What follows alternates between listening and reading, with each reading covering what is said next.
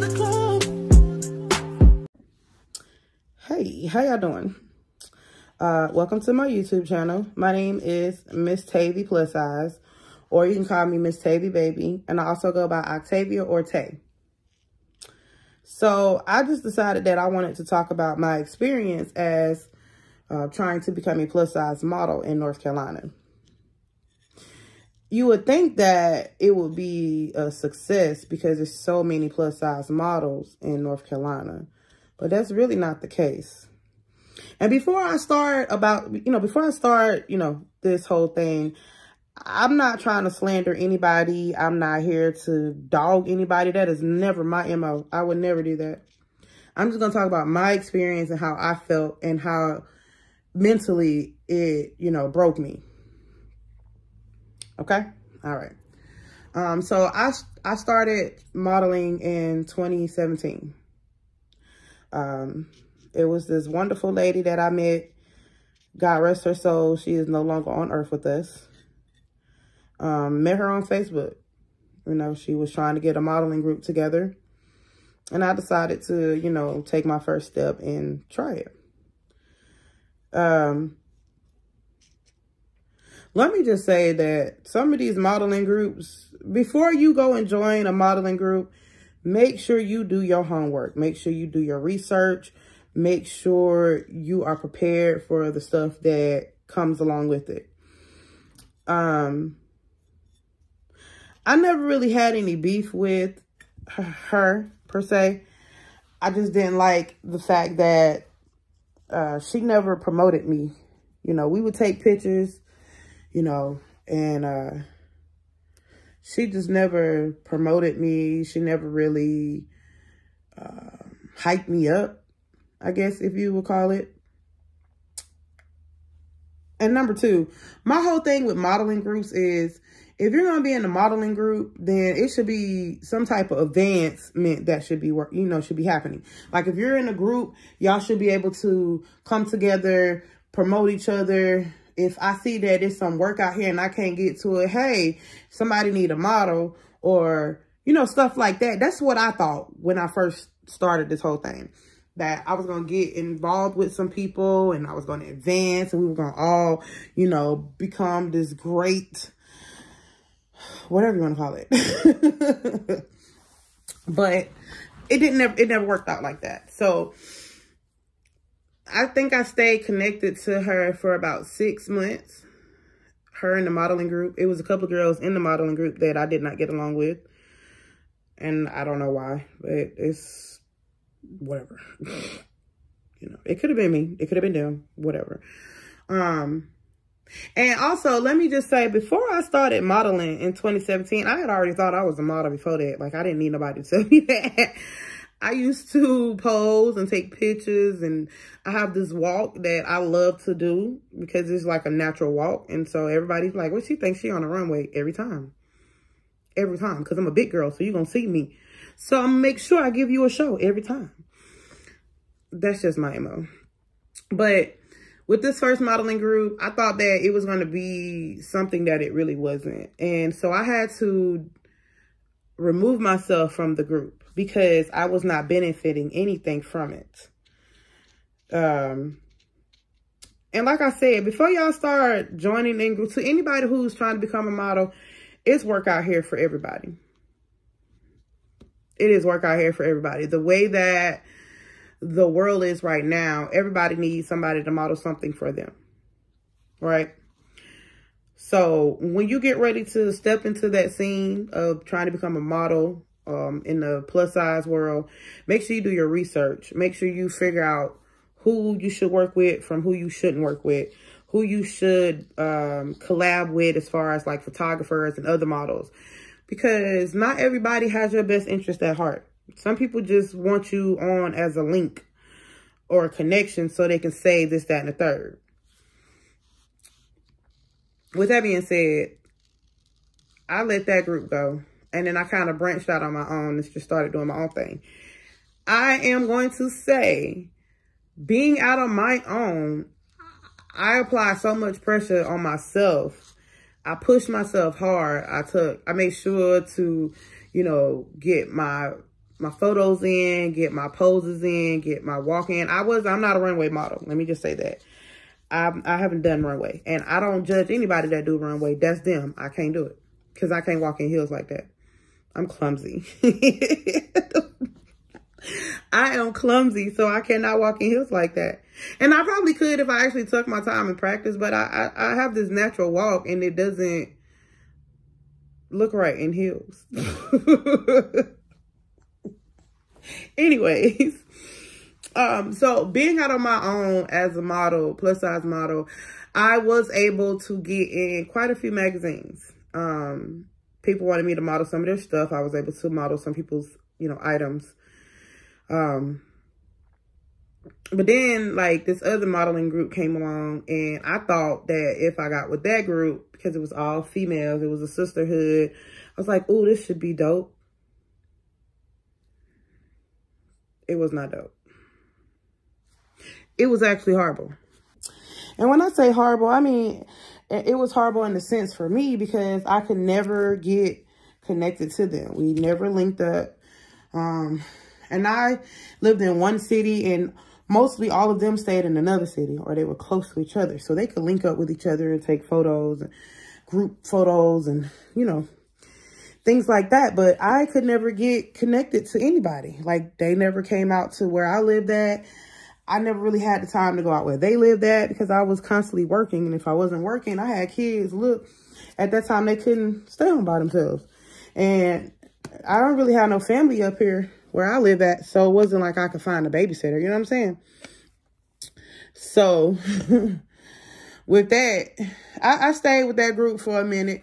That was also another group that never really celebrated or recognized me or anything. Like they didn't celebrate. They didn't um, promote me.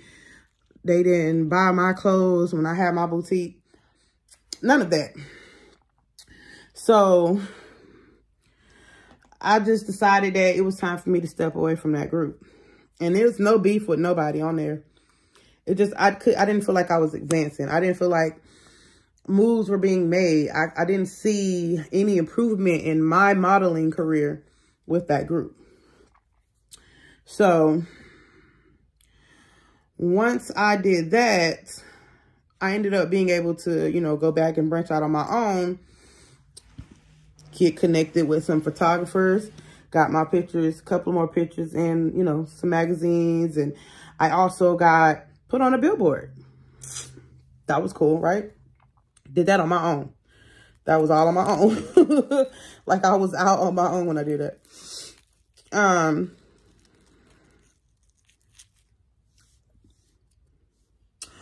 honestly, when I think of being connected to a modeling group, I think of how we are supposed to, or what, here's what I think it should look like. We, you know, promote each other. If I can't get to this, you know, this gig, I got a sister that stays up here that can get to this gig, or I got a modeling sister that can do that, you know, promote her stuff try to, you know, help her out. I just don't know why I thought that being in a modeling group would help me advance. I never advanced while I was connected to any modeling group. The last modeling group that I was connected to, I don't know why I connected myself to it. And something told me not to, but I did anyways. Thinking that it was going to be good, and it wasn't. Like, these people didn't give two craps about me, my what I was doing, or nothing, right? I can never see myself connecting to people without actually caring about, you know, what they got going on mentally. Because mentally, with this last modeling group that I was with, I was mentally going through some things. And I couldn't count on nobody. And I don't know why I thought I could. And I don't know why I thought that being in a modeling group you know, you should be able to call on somebody when you, you know, going through it or need some encouragement. But it was the same, the same thing. It was the same thing. I had to remove myself because they didn't care. No one reached out. No one asked anything. They assumed, and when they assumed, it just made things worse. I tried to put on some modeling shows. I tried to do a prom and all kinds of stuff, and nobody would support it. So when I say my experience was horrible with modeling groups, my experience was kind of traumatic. Like I literally had mental breakdowns dealing with other groups, modeling groups. And I, I, I didn't think it was supposed to be that way. And the problem is with me is I'm always supportive. I'm always trying to promote someone and support them and, and encourage. And I could not get the same thing back. Now, maybe from one of the female modeling, the sisterhood, I, I yeah, they did try sometimes. They, you know, would reach out and some people would be like, hey, you know, how you doing? And it will only be after I've, you know, spazzed out on social media, which that was annoying for me because I was, I annoyed myself with that one. But when I say you have to make sure that you do your research, do your research, understand who you're dealing with, look and see what it would do to, um, what would it do for you, right? and what I mean by that is when you connect to someone, see how, like if you're connecting to this group, see how that will, how you will benefit from it. Because everybody's going to have to benefit from something. You know what I'm saying? You're not just going in this group just to be in the group, just to say you're a part of a group. You're being a part of a modeling group just so you can see how, what kind of work, what kind of gigs, how will this advance my modeling career? Right? One thing that one told me that I hope that someone tells y'all, and if they don't, I'm telling you, always keep you a modeling bag with the necessities in it. Tank top, some tights, leggings, pair of heels, and the extra change of clothes, just in case. Because you never know, you know, when it comes down to modeling and being a part of something. Always keep your modeling bag packed. That's something I had to learn along the way. Um, another thing I had to learn was how to do my own makeup. Um, there's nothing against uh, makeup artists because makeup artists are the bomb diggity. Like these girls are out here doing it, and guys too. They are out here doing their thug dizzle when it comes down to makeup. But sometimes you can't afford it because let's be honest, some of these gigs, you don't get paid for. Some of these fashion shows, you don't get paid for. Right? So, if you ain't got the money and you just spent your last on an outfit or you just spent your last on gas getting to the gig, you got to do your own makeup. so, always make sure that you, you know, keep you some makeup around in your modeling bag. YouTube tutorials because in Instagram, these these ladies are showing you how to do makeup. Um, that's just something I had to learn over the years. Another thing I had to learn over the years is all plus size models, they're not supportive of other plus size models. You would think that in this modeling, I mean, in this career that uh, all plus size women would stick together, but that's not the case. That's really not the case. Not at all. not the case at all. Um, a lot of them pretend to be supportive and be, you know, uh, sisterhood this and sisterhood that, but they have their selective fews. That's the other thing I had to learn too with the modeling group is these people have their favorites. Most people have their favorites. They'll only support this one They'll promote this one. They'll only take pictures with this one. You know, they'll only talk to this one. They had their favorites. And at some point, you can't even be mad at that. But like, if we're all in this together, then, you know, but that's a part of life, I guess. In North Carolina, it's really hard um, because people are not supportive of each other in North Carolina. And you low-key have to be popular in order for people to support you. And other thing I've noticed is plus other plus size women like to down talk each other. We're all in the same community. We all trying to do the same thing. We're all trying to get paid. We're all trying to get noticed as a model. We're all trying to get paid as a model. And some people feel just because they got a few little gigs that they can look down their nose at you. I'm better than her because I get paid for certain gigs. but it was a time you wasn't getting paid. You know what I'm saying? Whatever. Um, I, I just a lot that I, I noticed over the years, and that's it. Kind of turned me off from modeling or being a part of a group because why? Why are we all like this? We're not all of us, because I'm not like that. I literally be trying to support each other, like other models, promote and show off their stuff and their brand. And some of them just be like, mm, I'm too good to model your stuff, or I'm too good to promote your stuff, or I'm too good to tell somebody that, hey, I can't do it, but I know somebody, I know a model that could. I know a model that will. So I said all that to say, just be mindful when you get ready to join modeling groups. A lot of people want you because the spotlight is on you at that moment. And they figure that if they can get you attached to their modeling group, then the spotlight will be on them and their group. Be careful of that because I know some people like that. Yep. And there's nothing wrong with modeling. There's some great things there's some great things and some great, you know, people to meet. Really, there are. But I think you have to branch out because I don't really know too many famous models that came from North Carolina.